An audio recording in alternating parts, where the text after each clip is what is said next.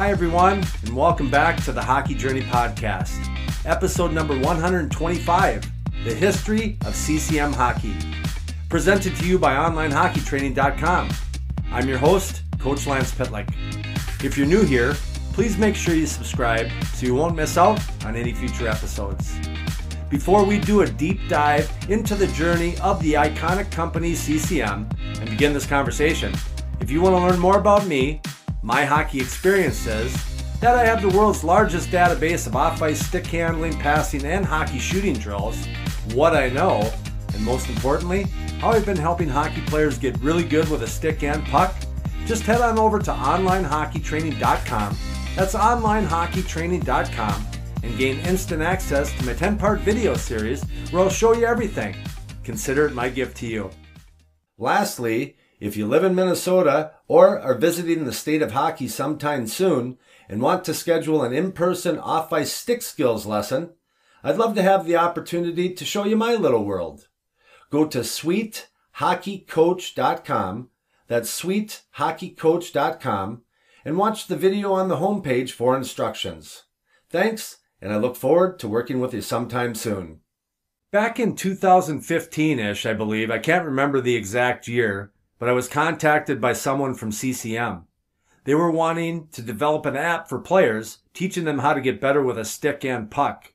To my surprise, they wanted me to be the instructor and wanted to use a portion of my online hockey training system to populate the application. Once we finalized the agreement, I started to go back and forth from Minnesota to Montreal a number of times over the course of two years, filming all the drills that would make up the program. After about a year, the app was launched. How much do you think the company invested in developing this skills app? What do you think? 50,000, 100,000, 250,000? Nope, not even close. I was told that they had spent close to $450,000 on it. And don't think I had a nice payday out of that amount because I didn't receive any payment for my time with them. The deal I made with them was hinging on it becoming a paid app at some point in year two. Well, in 2017, the Adidas Group, who owned the CCM hockey brand at the time, sold the company for $100 million. The new owners took over and did a full audit of the company, and I was told that whatever wasn't making the company money, they eliminated it. The app was out for about a year and change, and then it just disappeared, and my time with this iconic hockey company came to an end. Was I bitter when I found out? Not at all. It was an awesome learning experience, and they treated me like a rock star when I was out there. They put me up in a nice hotel. I could order whatever I wanted and just had to charge it to my room. Being a small business owner, what I did witness, however, is that you can do so much so fast when money isn't an issue. I was kind of sad when it was finally over, but it was a good run and I'm still grateful for the opportunity I had with them. One of the things I did before I ever went out to Montreal for the first time to start filming the program was to learn the history of the company so when I was talking with people within the company, I had some general knowledge of their journey.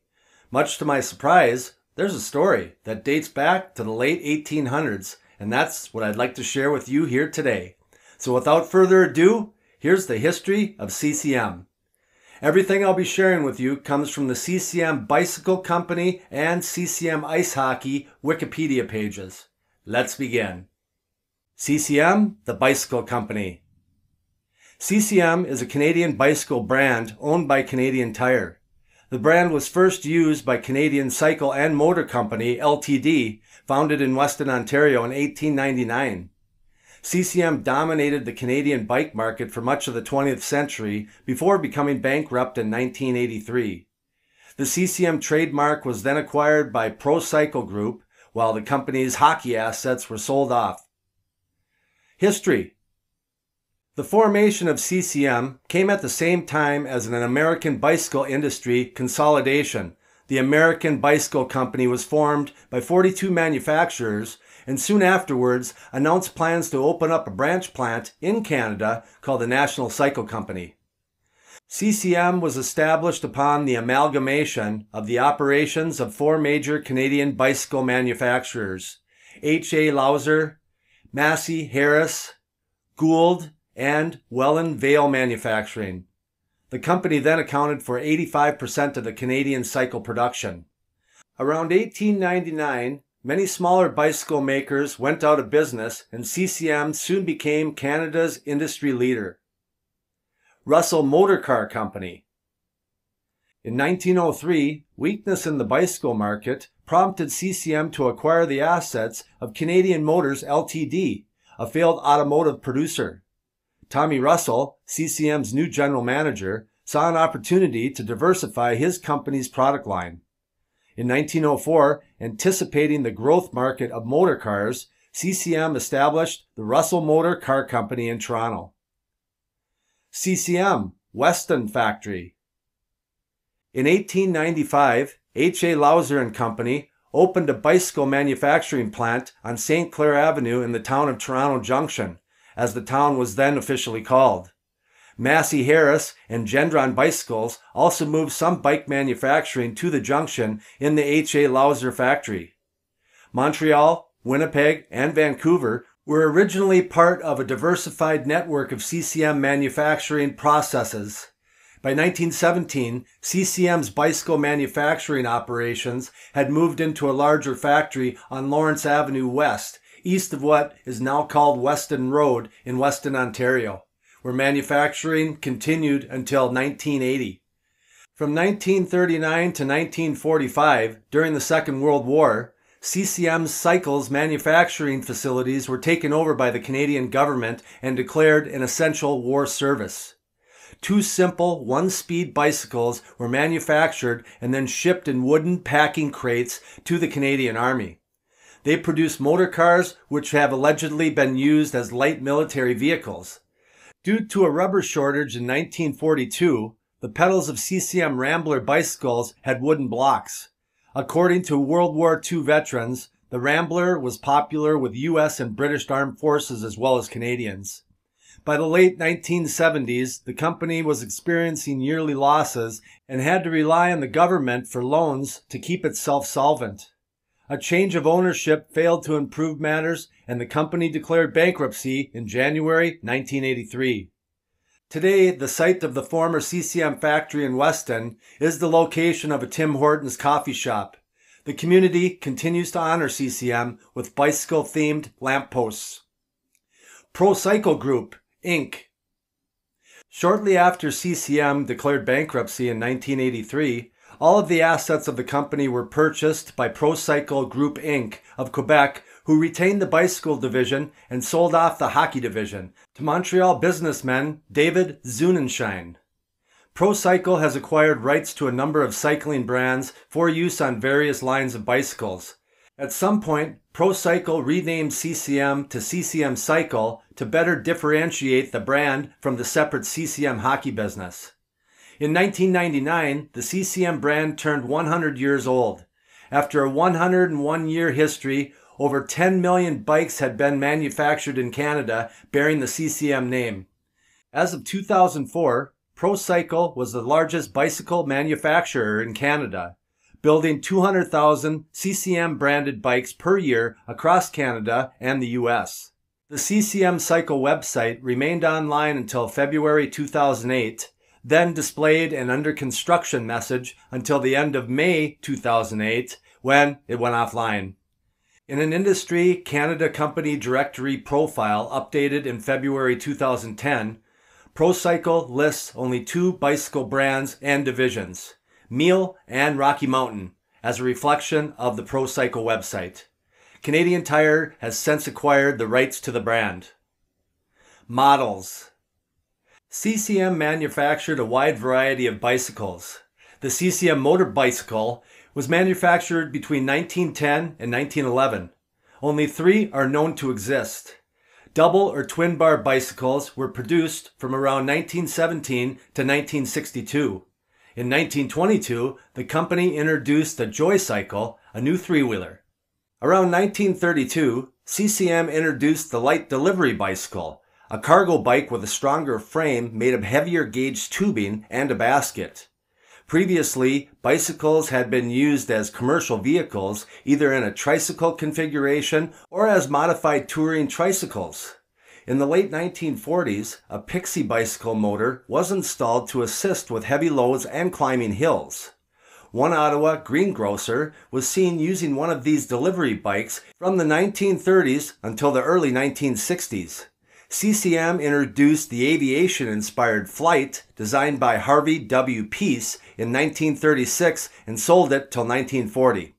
The Flight advertising poster described a frame of aeroplane seamless steel tubing, a CCM triplex hanger crankset, a CCM Hercules coaster brake, Dunlop forked tires, and other high grade equipment. Most CCM bikes were simple mass market bicycles. According to an old CCM Cycle website, the CCM Mustang Marauder was the popular children's wheelie bike similar to the Schwinn Stingray or Raleigh Chopper. The CCM Scamp was another children's model. During the 1970s, the company produced the popular and inexpensive CCM Targo road bike, as well as higher end road bikes, including the Silver Ghost and the Campagnolo, equipped custom built Tour de Canada. City and touring models included the Calico, Capri, Centennial, Concord, Elan, Elite, Encore, Galaxy, Grand Sport, Imperial, Sunspot, and Targo. The CCM Ranger reassembled the CCM Rambler, but with 26 inch wheels. That wraps up the CCM Bicycle Company Wikipedia page. Pretty cool history. Now, let's transition to the CCM Ice Hockey Wikipedia page. CCM Ice Hockey. CCM Hockey is a Canadian manufacturer of ice hockey equipment. CCM was formerly an initialism for Canadian Cycle and Motor Company Ltd., a bicycle manufacturer that began producing hockey equipment as a secondary business. The original company went bankrupt in 1983 though both product lines were continued under new, separate ownership. The CCM trademark continues to be used by two separate entities CCM Hockey, formerly the Hockey Company, manufacturing hockey equipment, and CCM Cycle, manufacturing bicycles. CCM is currently owned by Canadian private equity firm Birch-Hill Equity Partners after the Adidas Group sold the brand for around $100 million in 2017. As of June 2021, the newly appointed CEO by Birch-Hill Equity Partners is Melouane Nabi. Sorry if I beat that name up a little bit. Since then, the company has gone through major changes and restructuring within the senior management group. CCM's range for products for hockey includes sticks, skates, helmets, shoulder pads, elbow pads, goaltender masks, goaltender pads, goaltender gloves, knee pads, throat collars, and team uniforms for the American Hockey League.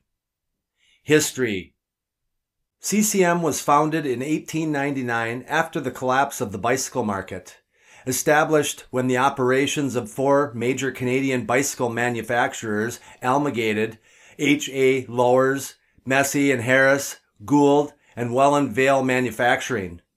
CCM produced bicycles for many years in the area of Weston, Toronto, Ontario. They also briefly produced the Russell automobile. By 1905, with saturation in the bicycle market, CCM began producing hockey skates using scrap steel that was left over at the plant from the manufacture of bicycles and automobiles and subsequently began manufacturing other hockey gear. In 1937, CCM acquired the Tackaberry brand made by a Manitobian named George Tackaberry, and Tacks remained the company's signature skate until late 2006, when the Tacks line was replaced with the Vector line, then the U Plus line, then the RBZ line, now the JetSpeed line. The Tacks line was later reintroduced in 2014. The original CCM went bankrupt in 1983.